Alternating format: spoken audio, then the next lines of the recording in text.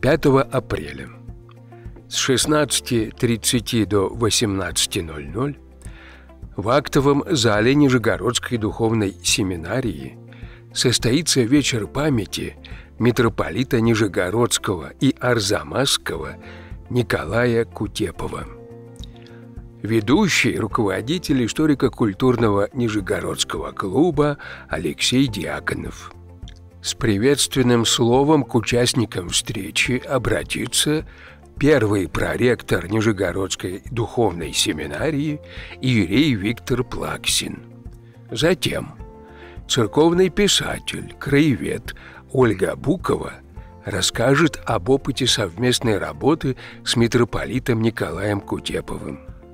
В ходе мероприятия состоится презентация книги Надежды Муравьевой, выпускницы ЦПЦС «Покров» имени митрополита Николая «Пастырь добрый» и показ видеофильма о жизни преснопамятного архипастыря.